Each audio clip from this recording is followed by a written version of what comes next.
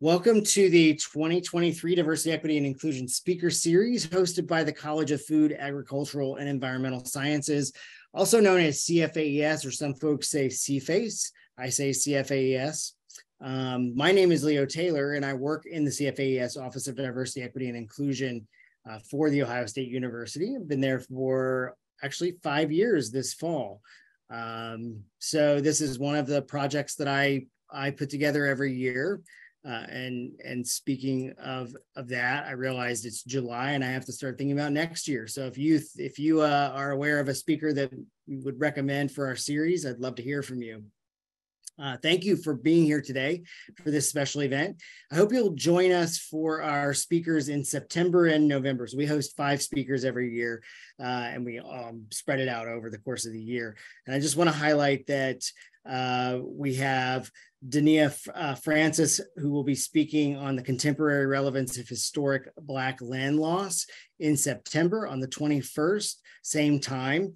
Uh, and then we have our keynote. Uh, I was able to get a very special speaker for our November slot, The Quest for Environmental and Climate Justice, Why Race and Place Still Matter. This is Dr. Robert Bullard, who is considered or has been dubbed the um, father of environmental justice has been doing this work for many, many decades.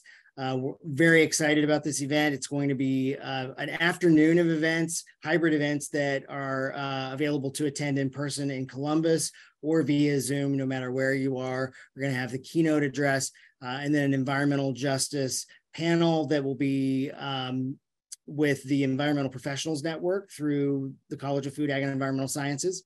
And then the Kirwan Institute uh, will be joining us for a closing call to action at the end. So save the date. I don't have the registration information yet. I'm still waiting on some um, text from the speaker, but um, very excited about this. So please feel free to block that on your calendar. Go ahead, stop sharing here. All right.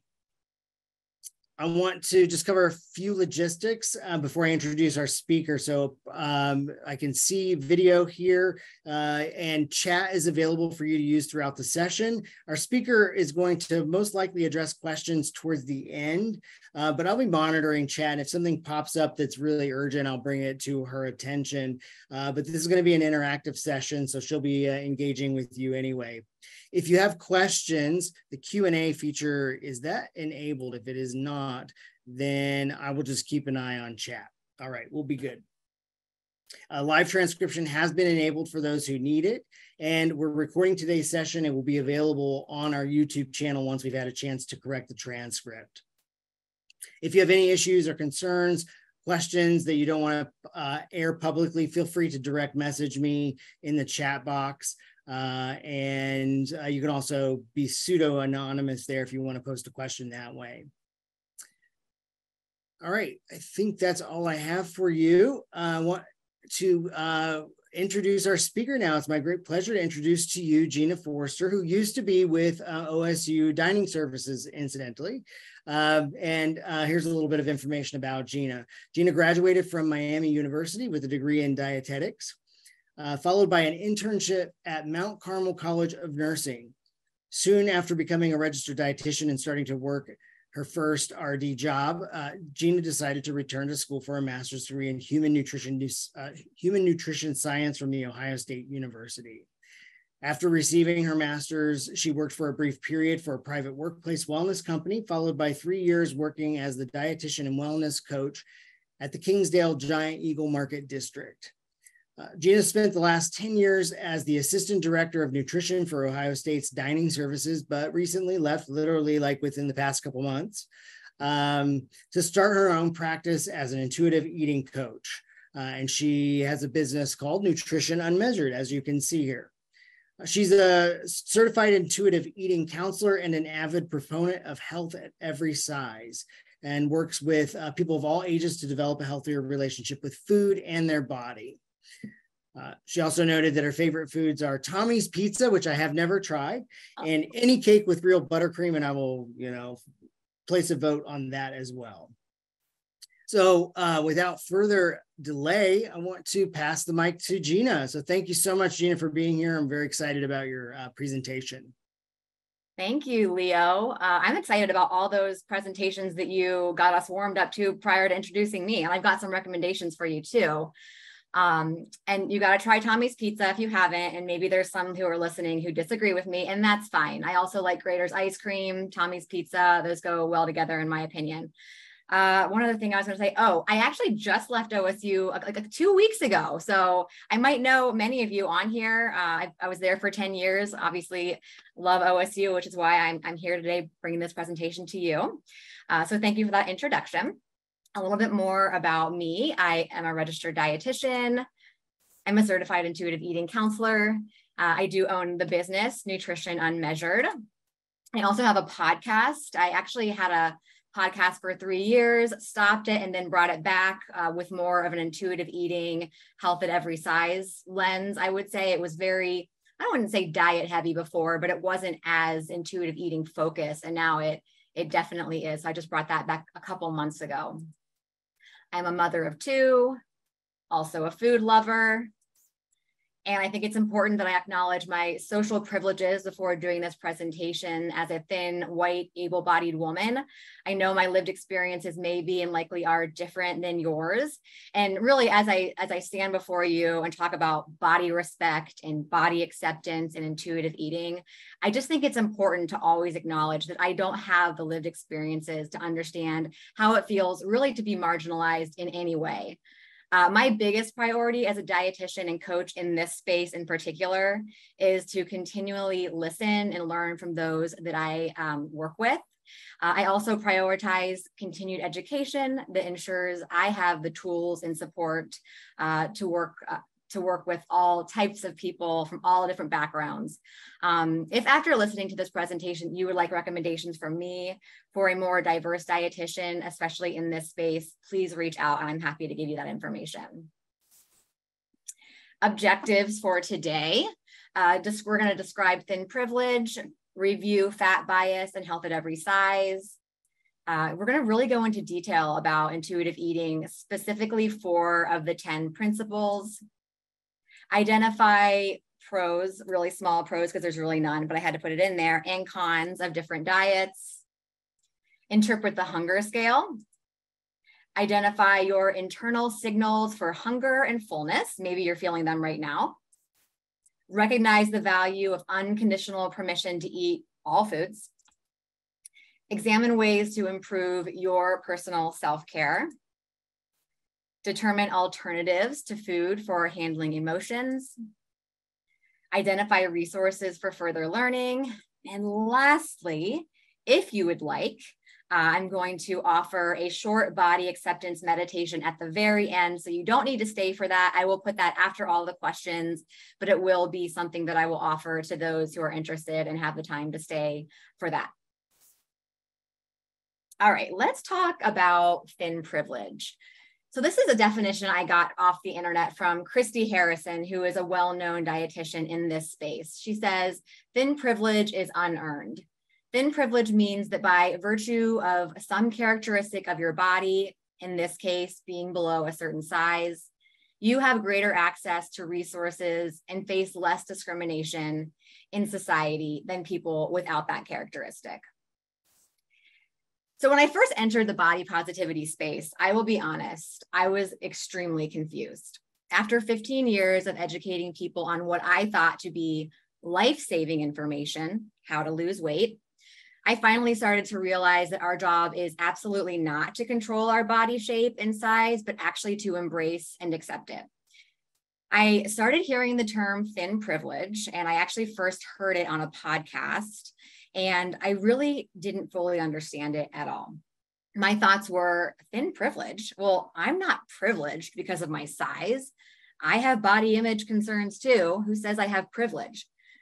I was thinking, isn't this a body positivity space? Like, why are they telling me it's a privilege to be skinny? I was confused and I was naive. Again, I was very new in this space. So last year, when Savala, I, I want to say that's how you pronounce her name, Savala Nolan, she spoke and I listened to her presentation. It was amazing. I believe that's still on YouTube. Uh, she did something similar to this exercise that I'm about to do to you today. Uh, but I thought it was important to do again. So I want you to you can turn off your cameras if you want to raise your hand, or you can just acknowledge in your mind. Um, I'm going to read some sentences, and then if you have experienced this, you can either raise your hand if you have your camera off, or just acknowledge that you have um, inside uh, mentally. Uh, okay, so we're going to go ahead and start. I want you to raise your hand or acknowledge if you've ever been presumed to be unhealthy or unwell because of your body size. Raise your hand if you've ever missed a diagnosis because your doctor was so concerned with your BMI, so concerned that they didn't even really talk to you about your other concerns. Guaranteed most clothing stores will not have your size. Been unsure you will find a comfortable spot to sit in public spaces. Avoid medically necessary treatment because of fear or shame. And last, been presumed to be lazy, uneducated, or lacking willpower because of your body size. So if you did not raise your hand or acknowledge uh, any of these, then you have thin privilege. And the purpose of this activity is not to shame anyone for having thin privilege or not but simply to make you more aware of the weight discrimination that exists in this country and beyond. So, why is this? For years, our healthcare system has inaccurately depicted weight loss as a job that everyone should and can do. And if not, they're lazy and have zero willpower. We've all heard it. But our healthcare system is wrong, and it's time for them to own up to it.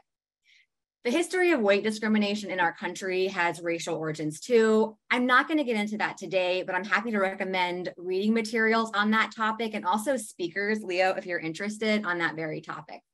And this activity specifically was brought to you by body image counselor Bri Campos, if you're interested in uh, using this in anything that you do for your work or personal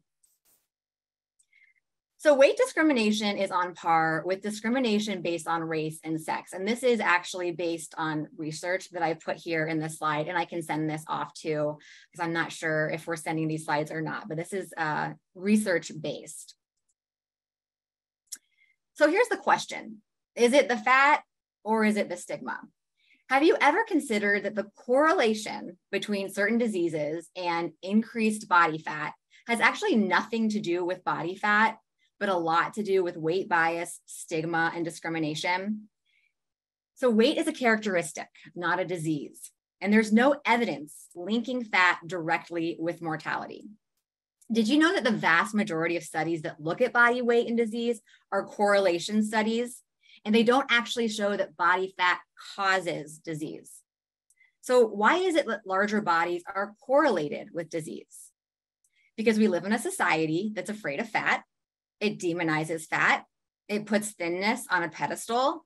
And that has convinced us that losing weight is something that we can control. And if we can't, as I've said, we're lazy, we haven't tried hard enough, we have no willpower, and we just don't care about our health. This kind of messaging can be detrimental to not only the human spirit, but also human health. The only people benefiting from this, this focus and obsession with weight loss are those who work in the diet and drug space, especially the drug space as of recently, which maybe you've heard about all the, the, the in the news, the new drugs that are out for weight loss. They're really profiting off of that right now. Cross or cross cultural studies have actually suggested that those in larger bodies are not subject to the same diseases in countries where there's less stigma.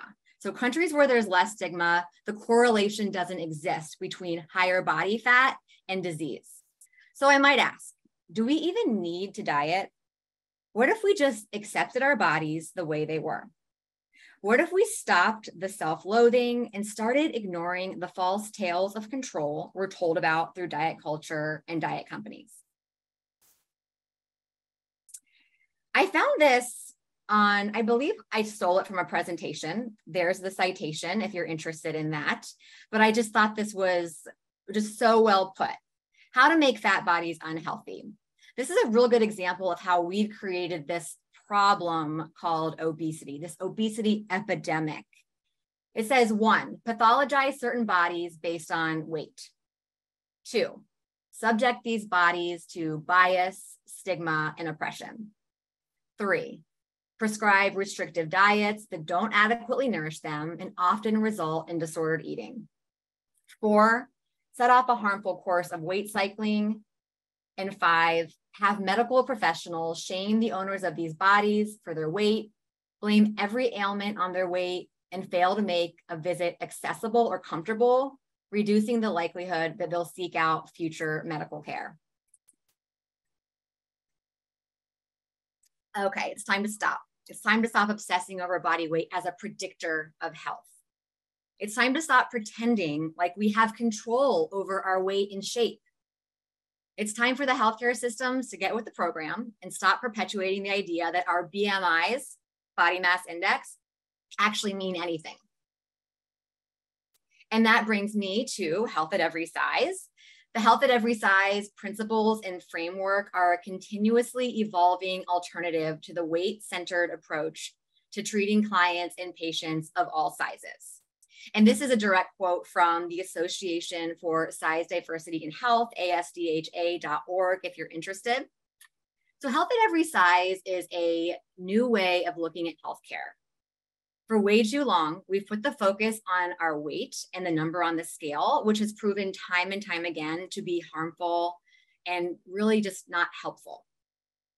Yes, there are people in the world living in larger bodies who may actually be unhealthy. But telling someone to lose weight, which again is a characteristic, our weight, instead of work on improving your health behaviors or your health habits, puts the focus on the weight instead of those health behaviors. So, what happens then? And I've seen this. The person may make huge strides in their health by getting better sleep, eating more fruits and vegetables, engaging in more mindful movement. But yet, the number on the scale doesn't budge. What if that was okay? Instead of giving up because of the failure to lose weight, what if that person continued on with their new changed behaviors and was healthier because of it? So, back when I was a, for many years, a weight loss dietitian, I remember having a client who had diabetes and was trying to lose about 50 pounds. At, the time, I just thought, oh, yes, I got this. I'm going to be good at this because I mean, that's essentially what I went to school for because it's so focused on weight. We worked on her diet by increasing protein, reducing her sugar, and all the while uh, absolutely reducing her calories. This went on for months. Her weight would not budge. She was exercising, eating balanced, but we couldn't collectively figure out why she wasn't losing weight. Her blood sugars were great, which, yay. She was more active now, more mindful about her food choices. So the fact that she didn't lose weight really looking back, shouldn't have been a concern of mine. I kept thinking, I guess she needs to eat less. But that just wasn't realistic as she was already eating less than she actually needed. Looking back, instead of thinking, well, shoot, what do we do now? The scale should have been put away while we focus on all the positive lifestyle changes and behaviors that she had worked on and made. If only I'd known then. She had already succeeded her weight wasn't going to budge because her body was happy where it was. Let's talk briefly about the social determinants of health. One third, which maybe to some of you seems like a lot, to others it might not seem like a lot, but one third of our health is based on individual behaviors. And what does that include? That includes self care, nourishment, making sure that you're eating enough, nurturance, taking care of yourself, self compassion, talking kindly to yourself, which I'll talk to you about in a moment here. The food that you eat, your activity level, getting enough sleep, not drinking alcohol in excess, not smoking. So that's one third of our health. And that's, and, and notice food was only a tiny part of that one third. Okay. But let's not forget about the other important parts of our health social interactions, social environment, our genetics and our biology, which we really can't do much about, right? Our physical environment, access to medical care, and also access to medical care that you actually like and that makes you feel good. You know, a medical care professional that doesn't put you down and that respects you. So, not just the access, but access to good medical care, and then access to education and access to food. Diets are a remedy that do not work for a disease that does not exist. I have no idea who said this quote, but I love it. I took it from, I think, another presentation or a book that I read, and it was author unknown. I plugged it into Google. I can't figure out who said it, but I'm stealing it because it's, I just, I love it. Focusing on weight loss takes the focus away from so much more that predicts and determines how healthy we are. So, in the book Body Respect, which I'll mention at the end of this presentation, Lindo Bacon describes how the obesity epidemic only exists because we've defined it to exist. They say by encouraging an accurate understanding of the root causes of health, the prevention of stigma, and the programming of self care for people of all sizes, we can address real health concerns, giving both fat and thin people the support they deserve. And that brings me to intuitive eating. So, engaging intuitive eating behaviors may or may not lead to weight loss. But as you can probably guess, that is not a measurement of success that I, as an intuitive eating coach, look for. So, you may be thinking, but Gina, you just told me that weight discrimination is a real problem. So, why wouldn't I want to focus on my weight? And that's a fair question, especially one to ask me, a person with thin privilege. As I work with people on intuitive eating, I also work with them on body acceptance and self compassion. To me, they go hand in hand. It's not as easy as saying, you don't need to lose weight to be healthy. But over time, my goal is for people to realize their body is not the problem. When we're truly in tune with our body, our body will do what it wants and land on a weight and shape that it was meant to have. This may or may not be the weight and shape you started with on your journey, and it may not be a weight or shape that you want. Accepting this is not easy, and I don't want to make it out to be easy. And for many people, there are stages of grief that come with the acceptance, but the reward at the end, living a life without that focus on controlling your weight and size, I believe it's almost always worth it, if not always. So when you do the work to say no to diet culture and no to size oppression, you'll come up on top.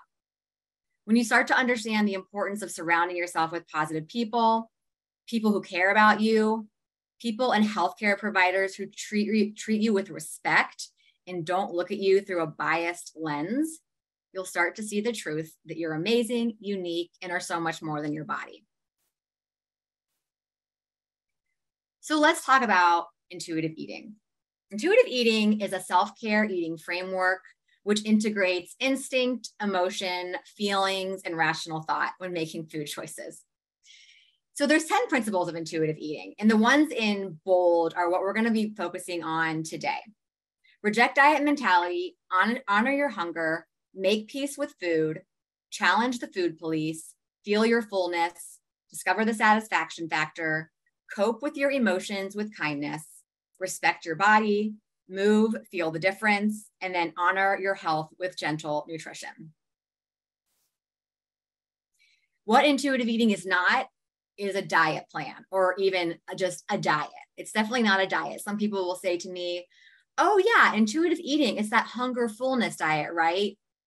we very much focus on hunger and fullness with intuitive eating coaching absolutely but we also give permission to really eat even when you're not hungry and not always stop when you're full because permission is the key to intuitive eating permission in with food and really all aspects of life the cornerstone of intuitive eating is self-care and this is my son um, he is actually six at this at this uh, moment but in this photo, I'm not even kidding. He was three months old and that's his hair. And I just love this photo because he just looks so peaceful. Because the first part of a good self care practice is sleep.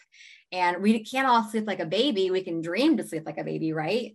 But sleep is probably, I always tell anyone I work with, if there's a pyramid, a hierarchy of needs as far as our health and our self care, I would put sleep at the very bottom, as in the biggest part if we're not getting good, adequate numbers of sleep and, and adequate um, quantity or quality of sleep, it's just everything else sort of falls apart. It's a ripple effect. So, sleep, finding a balance in your life, work life balance in particular, nourishment, making sure that you are feeding yourself enough. I will tell you the vast majority of people that I work with, the first thing I do is look to see what they're eating, not to make changes to it, but to add more.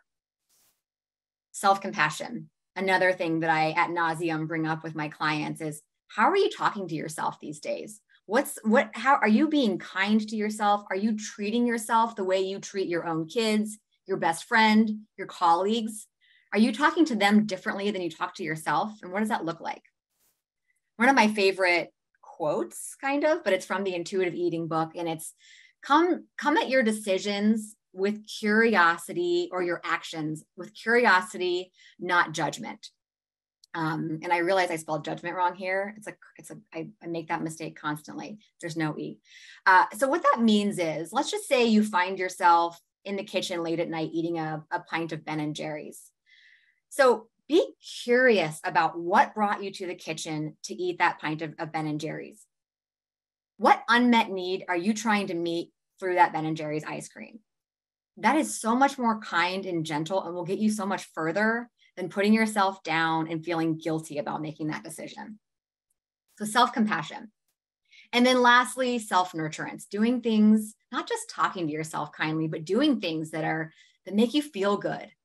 Could be you know, paying some money to get a massage, or it can be free. Going for a walk in nature is self nurturance, taking a long bath.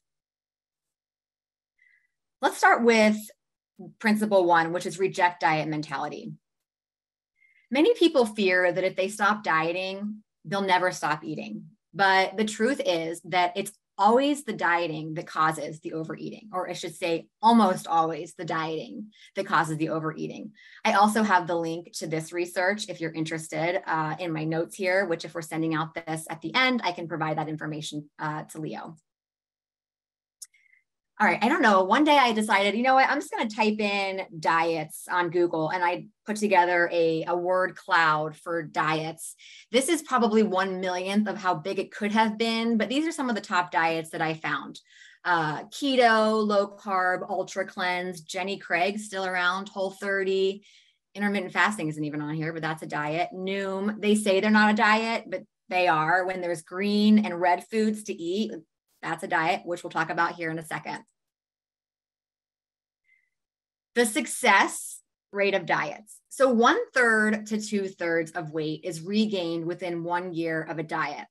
And this is based on one pretty large research study.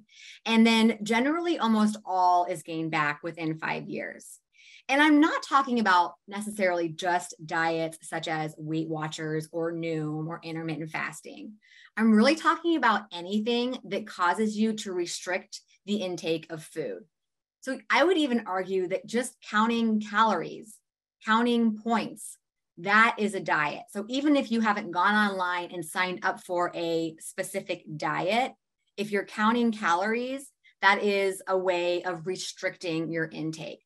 So that's the general consensus that generally about one third to two thirds is regained within one year, almost all within five years. And there's a lot of research too that supports that when we restrict our intake and go on diets, it actually causes us to gain more weight than when we started. The biggest predictor of weight gain is weight loss. So studies show that diets and weight loss are actually predictors, predictors of future weight gain, not long-term loss. And again, restriction of any type just doesn't work because our biology, our bodies, they do anything possible to compensate. To our bodies, restriction of any type is almost like a famine. Your body doesn't recognize that you're on a diet. To your body, it, it is it's it's not right. Something is wrong. I need to do anything I possibly can to protect you. So that's what your body's saying. What can I do to protect myself right now at this time of famine or you know the person who's carrying me around isn't eating enough. I need to do whatever I can to make this better. So I'm going to retain weight. I'm going to send out hormones to make them hungrier. And this is what happens. The bottom line is failing to lose weight long term is a actual sign of success that your internal weight regulation system is working. Diet failure is no more a sign of gluttony or lack of character or willpower than breathing deeply after exertion indicates lung failure or shivering in cold weather indicates weakness. So in other words, quote unquote failing a diet is is actually a good thing because that means your body is doing exactly what it was supposed to do to protect you. Diets have some things in common, and here's where I want to really get some engagement here. Uh, I just want you to type your ideas in the chat, some things that diets have in common. All diets have in common.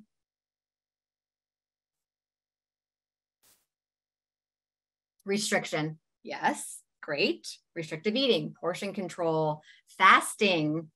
These days, I feel like that's very common. Yes, the fasting diet. They cost something often, absolutely. Counting of whatever it is, whether it's macros, points, calories, guilt. Uh, that was a good one. All, yes, guilt and shame. Absolutely. It's like diet companies use your guilt and shame to keep you coming back. And it generally works. Fear, moralizing food good versus bad. Absolutely. Yes. And that is something i hear my clients say a lot and i'll i'll kind of call them out on it a little bit when i hear them say i ate something good or i ate something bad in of course a non-judgmental way but we're trying to neutralize foods. Removal of food groups. Yeah there's very few diets that don't take away some type some food group. Uh, you know i think that's that's was the big pull with intermittent fasting. They're like oh you can eat whatever you want yeah, that's great. There's no omission of food groups that I'm aware of, but when you're omitting a certain time to eat, you know, that's restriction. Hunger while you're dieting. So, yeah, the word hunger, that's a great one. I think that's a, a common trait of many diets since you're restricting and usually not getting uh, the actual nourishment that your body needs. Good. And a focus on the number on the scale or your BMI. Nice work. I've got restriction rules, omission of food guilt of food groups, guilt and shame, but you guys went went all out. Good job. All right, dieting is the number one predictor of weight gain and has been linked to the development of eating disorders. And here's how a typical diet cycle will look. You might personal, personally have uh, actually experienced this, but if not, at least you know someone who has, whether it's a colleague, a friend, a family member someone has this desire to not even just be thin, but to change their body in some way, whether it's lose 20 pounds, lose 100 pounds, whatever it is. And then they choose a diet, you know, put their hand in the grab bag of diets and then pick one. And they probably feel great those first couple weeks. Heck, they might even feel great for a couple months, maybe even six months. Who knows? I've heard it all. But eventually, because no diet lasts forever, there's cravings because your body, your body's inner um, biology and, and th- those meters are going off saying what something's going going on here? Like something is wrong. So it starts sending out those craving signals and i need to eat. What are we going to do? Start to have cravings. And then eventually you give in to those cravings. And then you have periods of uncontrolled eating. And then eventually you regain any weight that you lost oftentimes plus more that rebound weight gain maybe you chill out for a while, take a little break from dieting, and then maybe a year later or even six months later, later whatever it is, you come back to that desire again and you realize I, I'm going to do better this time. This time's going to be different. And then it all starts over again. So I've mentioned this a couple times how dieting contributes actually to overeating. You know, that that quote I put at the beginning of the presentation, how uh, it's actually dieting that makes us have cravings or causes us to overeat. But many people are afraid if they stop dieting, they'll eat whatever they want. But the irony is, it's the dieting that's making that happen. So, how do you think dieting contributes to overeating?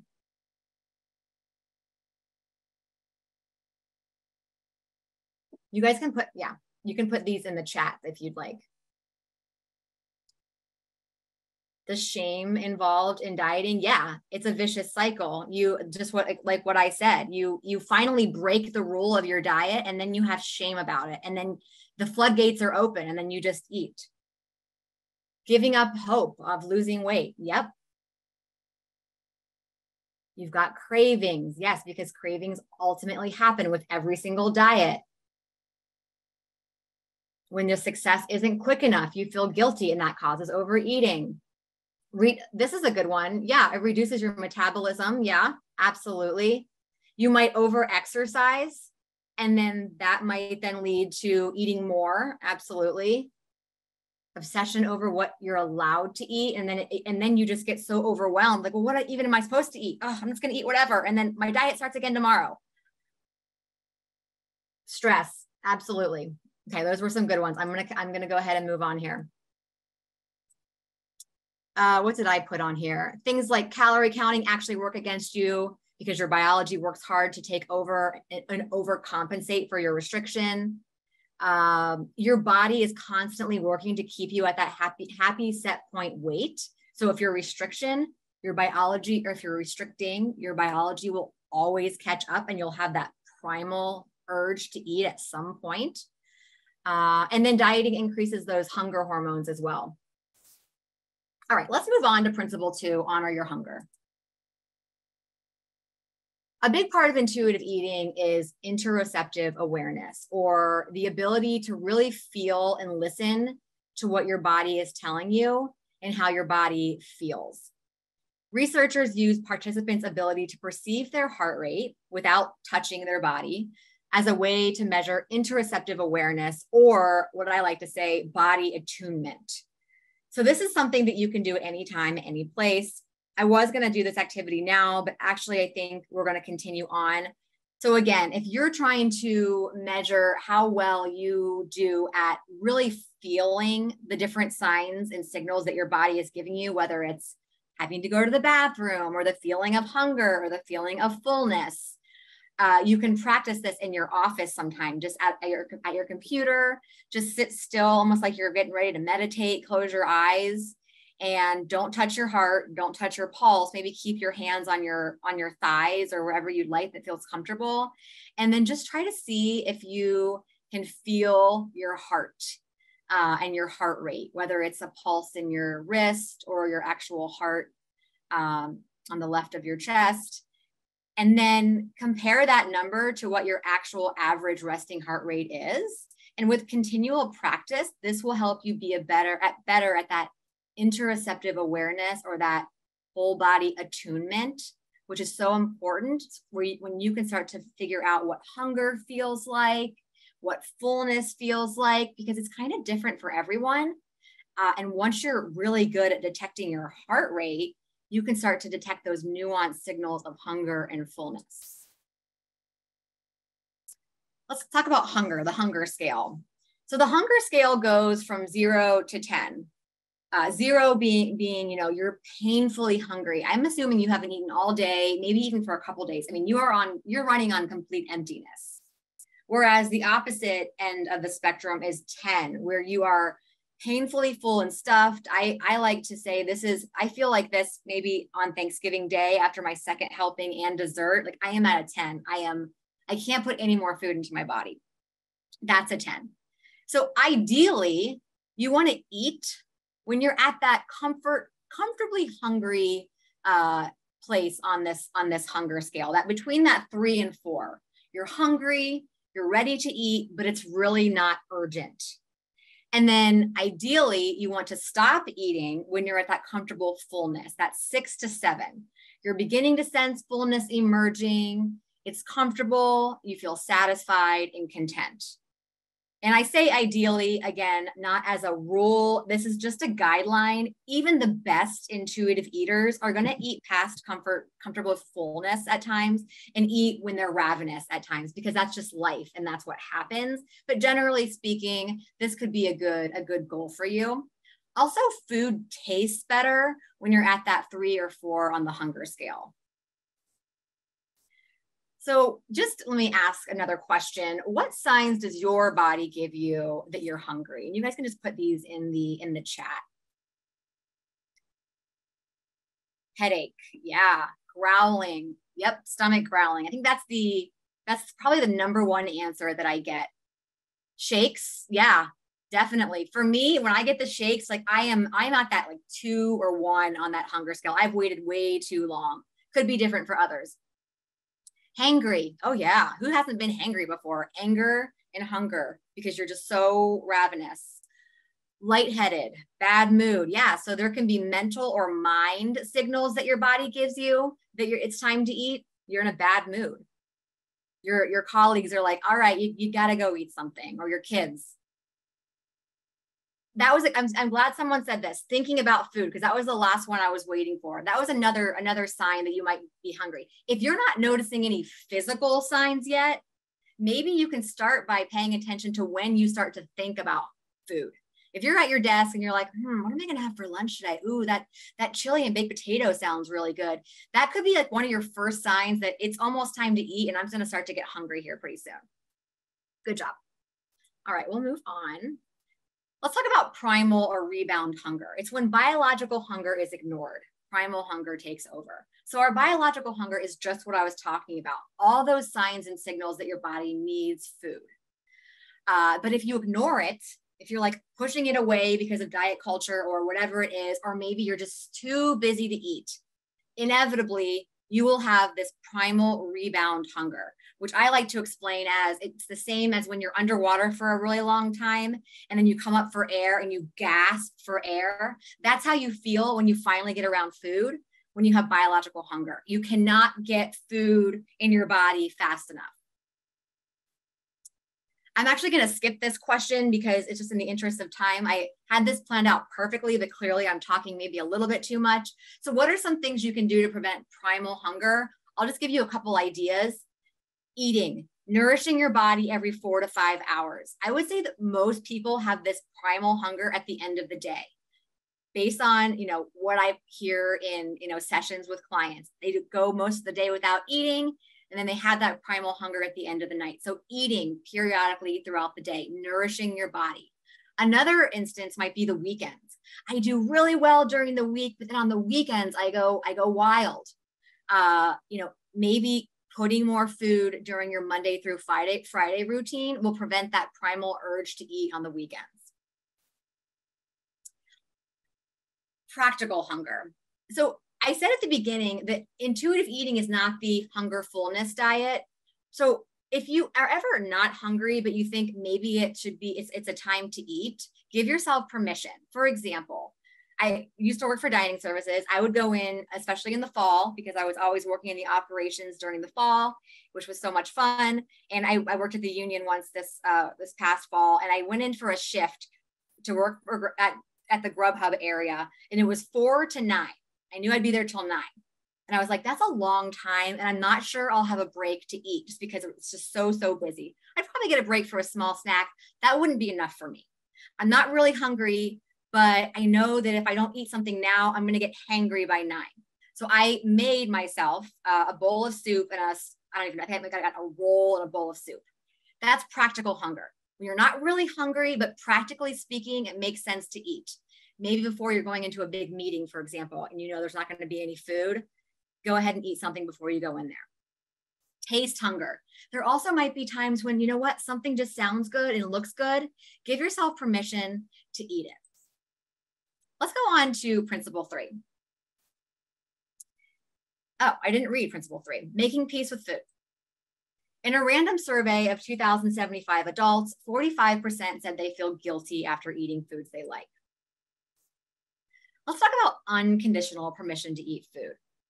So, chronic dieters live in their heads and second guess the needs of their body. And what I what I mean by that is they're either thinking about calories or points or what time it is on the clock, right? Rather than asking their body, am I hungry? What sounds good right now?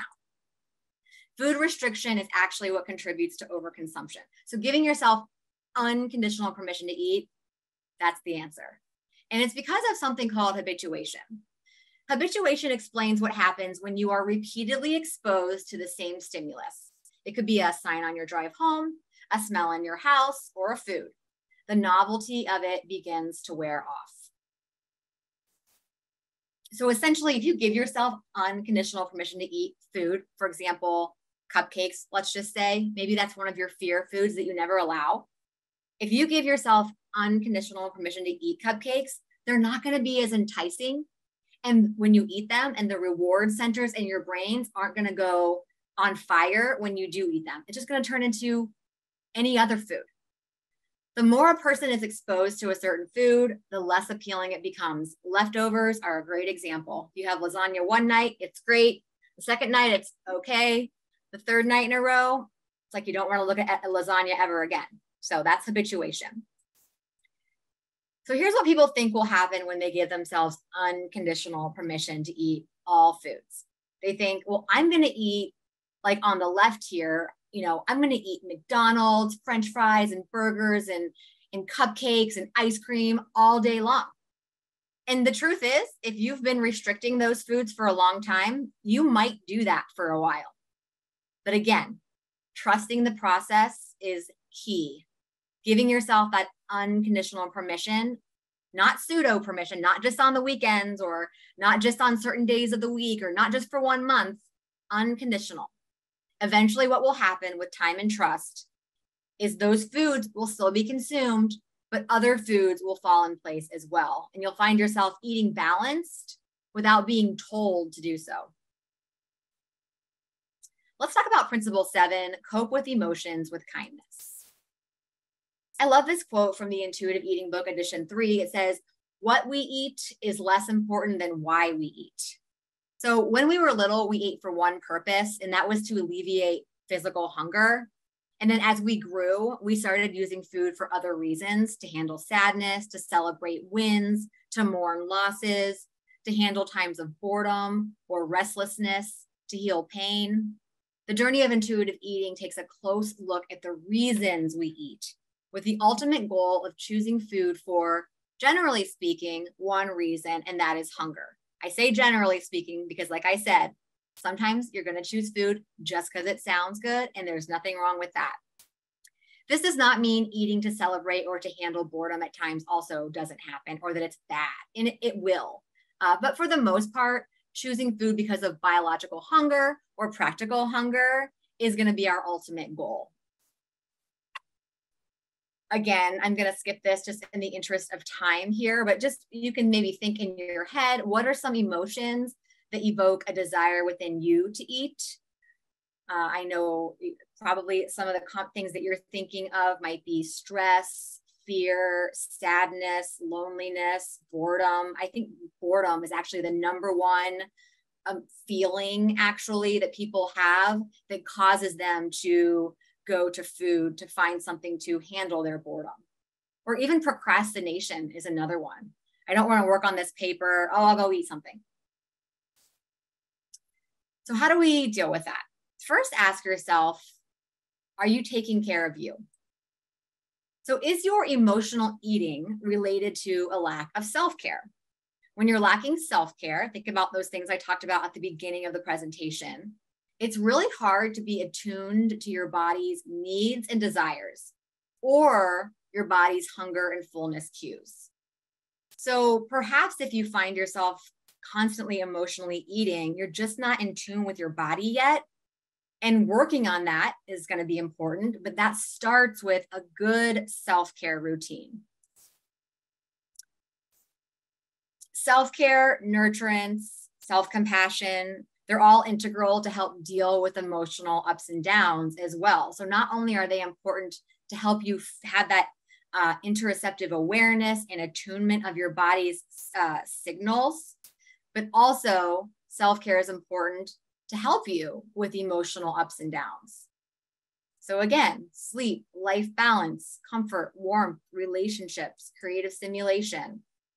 And then self compassion, coming from a place of curiosity and not judgment. So when you find yourself mindlessly eating, here's something that you can do. And this is from my Instagram. You can ask, you can use the acronym HALT hungry, angry, lonely, tired. Am I actually hungry? So check, check in with your body, see how you feel. Maybe you are. Maybe you realize I'm really not. I just had a really large lunch. I'm not hungry. But what am I experiencing right now? Am I angry, lonely, tired? Keep filling in the blanks. In other words, you're you're taking the time to stop and think and be mindful of why you're eating. And it might not be actual hunger, it may be an emotion or a feeling. Here's the thing if you decide it's an emotion or a feeling and you still choose to eat food, give yourself permission to do that. So, again, asking yourself, what do I feel now? If you find yourself dealing with an emotion and wandering towards food, just stop and ask yourself, what am I feeling? What do I need? Again, maybe it's food that you need, in which case, eat it. But just taking that moment to stop and you know put that break in between you and the food will be a good habit to get into if you find that you're constantly choosing food that might be a sign that maybe getting some therapy or talking to someone about that is a good idea. But maybe you'll choose to do something else like read a book or go for a walk or listen to some music or take a bath or talk to a friend. Uh, finding other ways to handle feelings and emotions, especially when they're strong feelings and emotions, and especially when they're happy, happening a lot.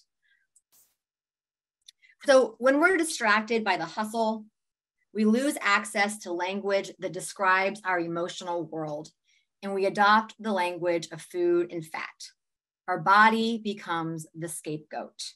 Instead of recognizing our anger, we direct that anger towards our body. And I have to say, I relate to this at times. I know people I work with can relate to this quote. We use our body as a scapegoat when we're handling certain emotions and feelings. So the key is to get comfortable really sitting with those emotions and feelings. They like to say, sitting in the suck, if you've ever heard of that. I like that. Just sitting in the really uncomfortable feeling that, oh, no one likes to sit with.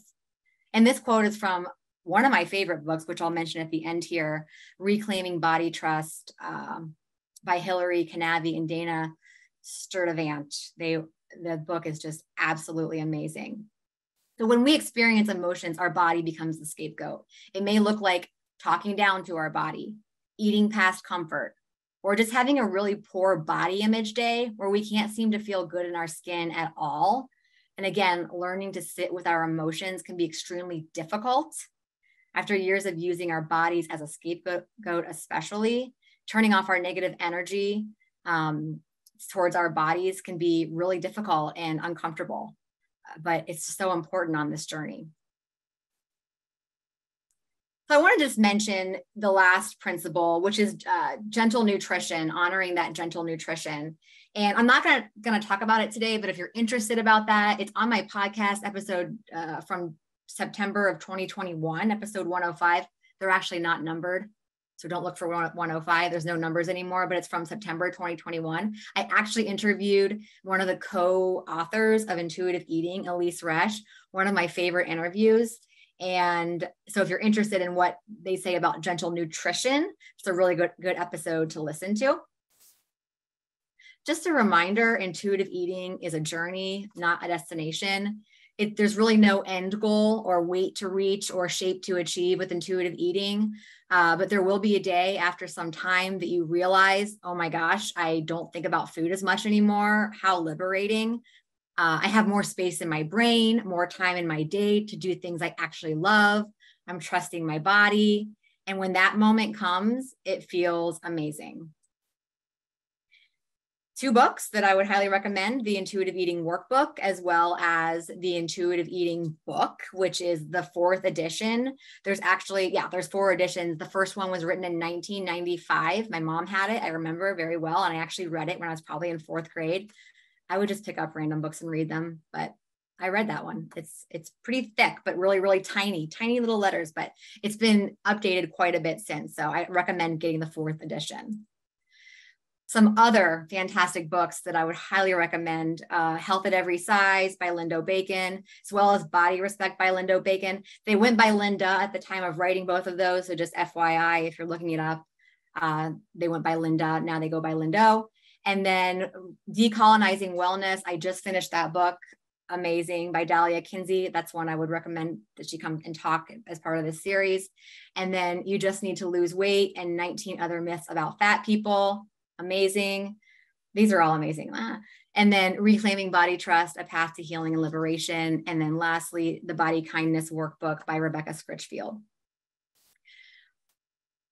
Okay, almost at the end. So, through divesting from diet culture and exploring intuitive eating, I really believe it's possible to get back to experiencing body trust, diet liberation, peace, permission, and so much more. This takes time, support, and most likely a lot of grieving. After all, what we've been taught our whole lives about our ability to control our weight and the way we look is wrong. So, this beautiful picture is from the Body Trust uh, Center for Body Trust uh, website and book that I had up there. The tree tells the story of the path to body trust, which starts at the top with educating yourself on the facts of health in our bodies and exploring your body story. And it ends with deepening your roots with kindness and curiosity and finding a community that supports you. If you're interested in working with me, there's my website. You can also follow me on Instagram at Nutrition Unmeasured. I'm also offering a 10, uh, 10 module self paced course, which is half off if ordered early. I didn't put the link in here, but it will be ready in September, but I'm offering it now for half off if you're interested in that. Also, I have an Etsy store. If you're interested uh, or if you're ready to start openly declaring your distaste for diets and your body respect, visit my Nutrition Unmeasured Etsy page for decals, mugs, and much more. And now I would love to open it up for questions.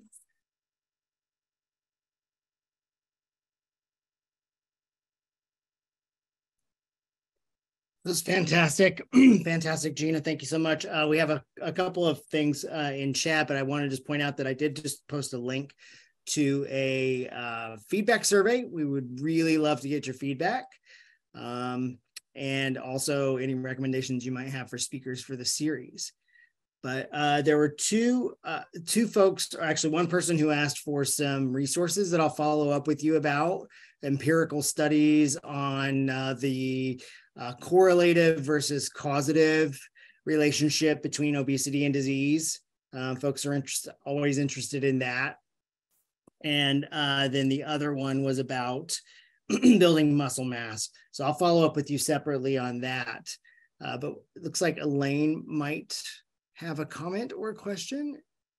Yeah, uh, Elaine says, I'm thin and have had people make comments and judgments about me all the time, as in gain weight. Yeah, I am a, I'm at a healthy, I'm gonna make this a little bit bigger. I am at a healthy weight. I also can hardly ever find my size in stores. Sizes are always larger anymore. I wear a four or six, depending. I have to order online, and even then can be challenging. So I'm not feeling very privileged. Yeah, it's, yeah, I mean, it, it's it's definitely different um, uh, when you are live in a smaller body. Uh, it's if I hope that no one takes offense to the term thin privilege. I, there are certainly things be, having a smaller body that can be hard too, but generally speaking, just so much different than uh, the experience that those in larger bodies have. But I'm, I'm I empathize with you, Elaine. So thank you for sharing that.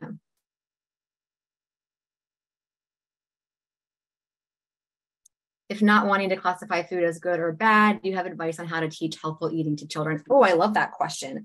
Honestly, because I have two kids of my own, I don't call foods anything. I just call them food. I don't I don't even really I don't really say much. I know I will say as my kids have gotten older, especially my daughter Paige, I might say something like, uh, if she notices that she's really hungry, for example, I might say, "Oh, you know what? Something with some fat and protein might really help."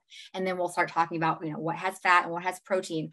Or maybe she'll my my son sometimes if he has GI problems, for example, I might say, "Hmm, you know, have you been getting a lot of fiber lately? Let's talk about what has fiber in it."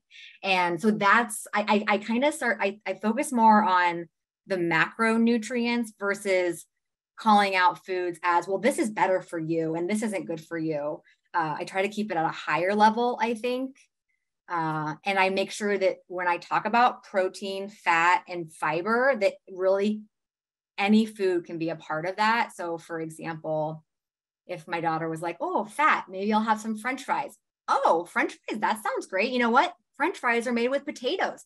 Potatoes have fiber. Let's get some French fries. What else can we pair with that? So just really high level. I hope that helps.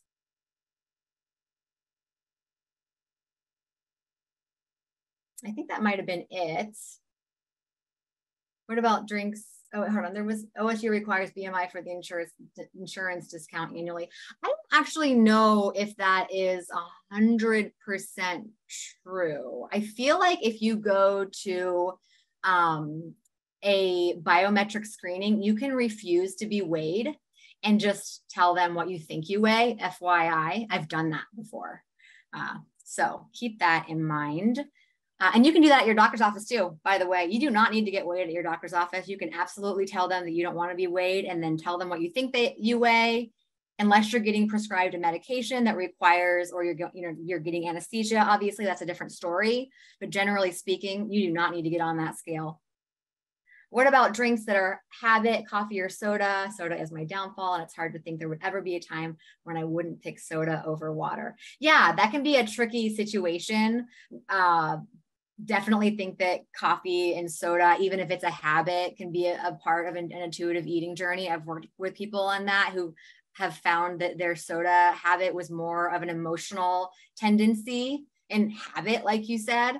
Uh, but that definitely exists and is something that I've worked with people on. So it's not, it, I would say it's something that with work you could you could work on for sure can intuitive eating help with heart health? Oh my gosh, yes, absolutely. I actually have a whole presentation on intuitive eating for people uh, with high cholesterol or high blood pressure. I've often heard when you're hungry, you might actually be thirsty. Oh, what a diet thing to say, too. I've heard this too. And to drink water rather than eat. Mm-hmm. So then I feel guilty. Exactly. I've heard this too. In fact, I used to tell people this like, oh, if you think you're hungry, just go grab and chug a big thing of water. That is diet mentality 100%. Here's the thing.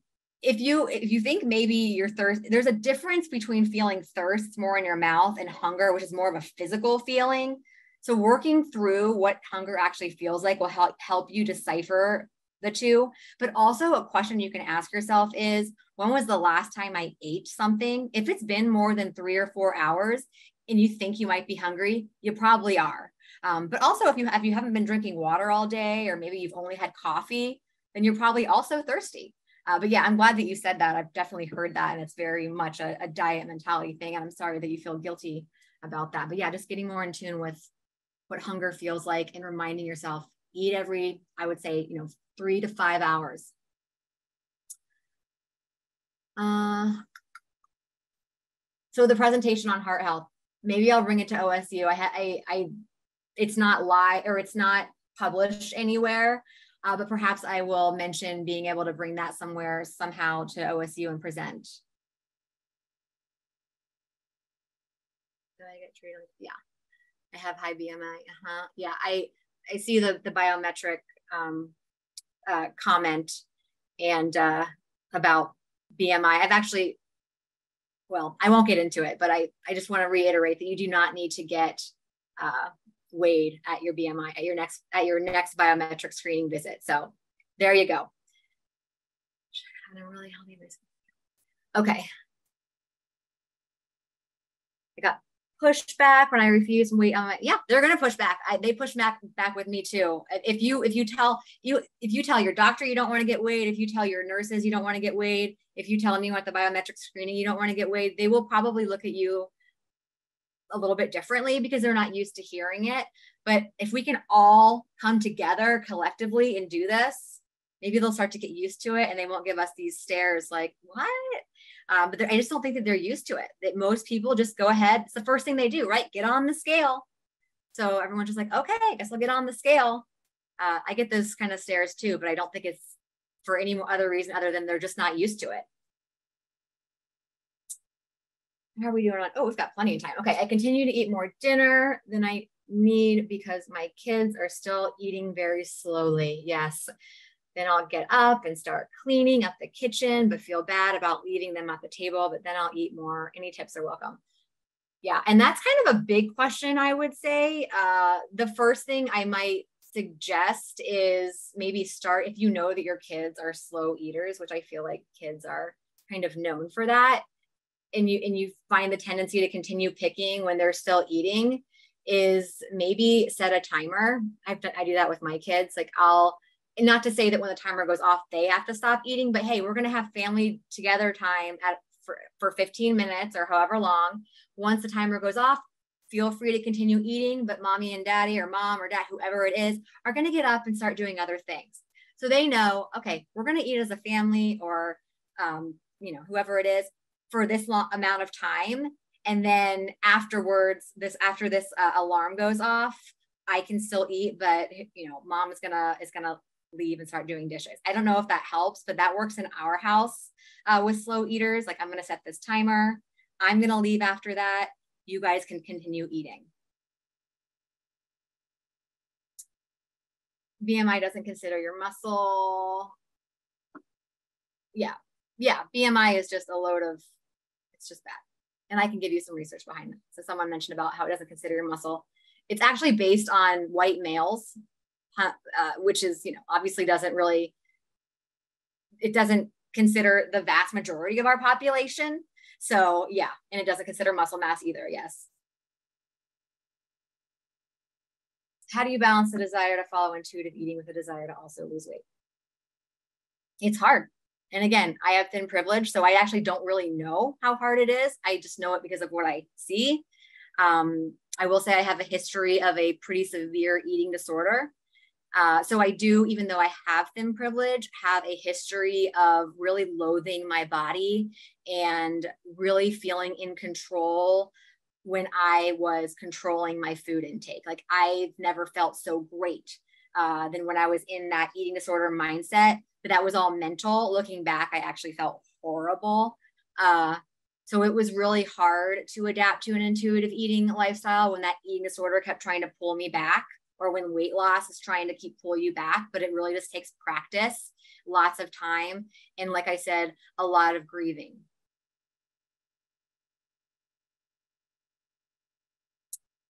Looks like that might be it. Okay, how do you determine if you're an emotional eater? That's a really good question. And there's a lot of ways I could explain this. I think I actually didn't put the continuum of emotional eating up on the slide, but there is a, a continuum or a spectrum, I should call it, that goes really from eating just for pleasure to eating as punishment.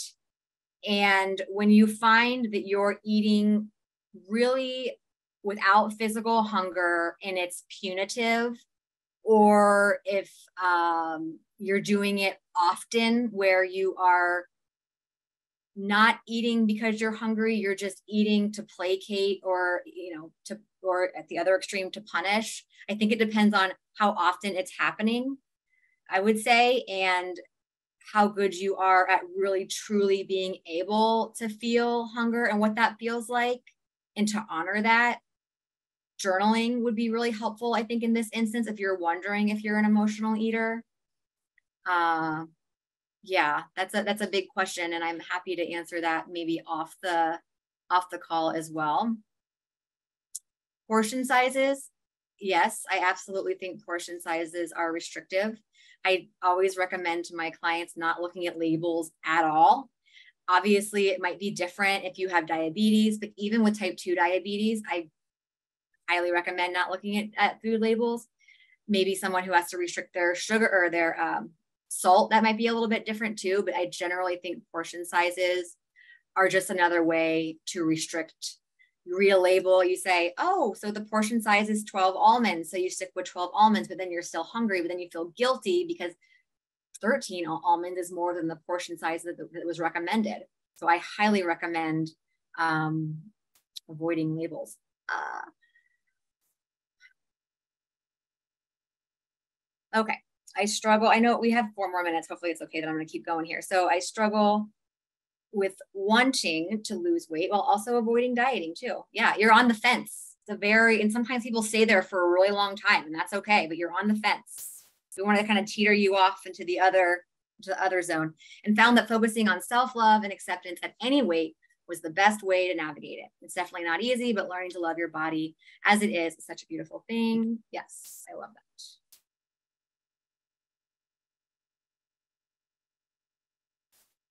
Not reading labels does not seem correct ingredient wise. Uh, yeah, thank you. I think I I actually don't ever look at ingredients either personally. I think that that is another diet mentality thing unless you actually have ingredients that you need to avoid such as food allergies for example or intolerances to certain things that is a completely different story that's what i did for the last 10 years at osu uh, but i actually don't even think i don't see the point in looking at ingredients either personally. That's just my personal take. I think that that can also make you second guess what you actually desire.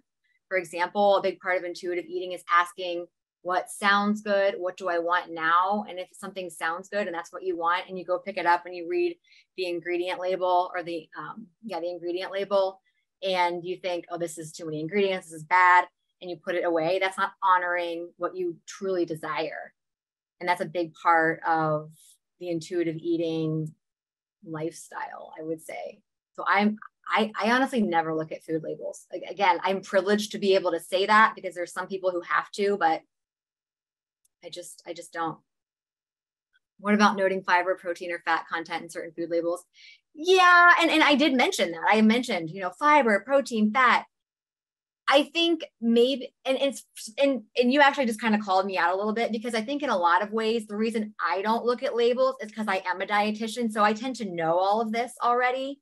Uh, but generally speaking, you can guess how much protein, if something has protein, fat, or fiber. So maybe at the beginning, when you're like getting into uh, a health habit and you want to start just really trying to understand foods that have fiber, protein, and fat, looking at the labels might be helpful, but just at the beginning. And I think, you know, generally speaking, if we have a good knowledge of what has fat, you know, nuts have fat, uh, avocados have fat, seeds and oils. And what has protein? Yogurt, milk, chicken, animal proteins, beans, what has fiber, fruits and vegetables and whole grains. I mean, that's generally speaking what it is. So I still don't find that labels are very helpful in that way either. A lot of the fiber they add to these products are inulin and chicory root anyway. That's not even real fiber. That's a whole nother story. But yes, I, I I'm just I called myself out. I am a dietitian, so maybe it's easier for me. But I still like to um, advocate really not a heavy focus on food labels. In fact, I sometimes tell my clients to cover their food labels with paper in their pantry.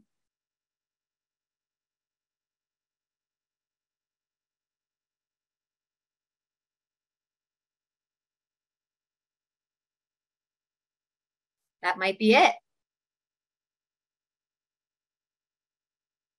Wonderful. Thank you so much, Gina. And thank you so much to everyone who joined us today um, stuck around for the Q&A. Uh, I have a list of resources that I've pulled from the chat and we'll include that uh, in the email that I send to you all, which will also include the replay link to today's recording. Eventually, this will live on our YouTube channel, so you'll be able to share that with folks um, if you want to. Also, earlier I had shared the link to Savala Nolan's talk so if you were inspired by Gina's talk, which was fantastic, and, and Gina, by the way, if you're willing to share your slides, I'd be happy to send those along to folks.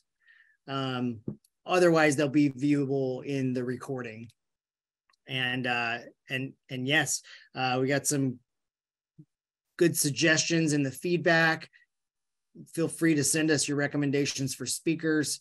Uh, well, and I'll make sure you have uh, access to Gina's contact information in the email that I send out. So you can connect with her if you'd like to work with her on intuitive eating. I hope you'll join us for the remaining speakers in our series. I'll, I'll include that information in the email as well. And have a great day.